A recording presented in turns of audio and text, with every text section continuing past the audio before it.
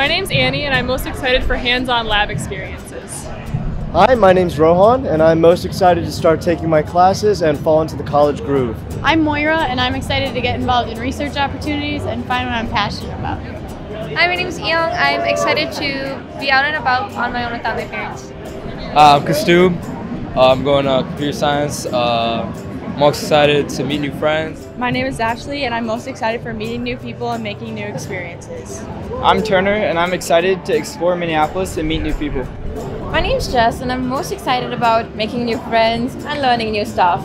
Hello, my name is Eric, and I'm most excited about forming relations with professors and people within the college. My name is Audrey, and I'm excited to get involved in undergraduate research.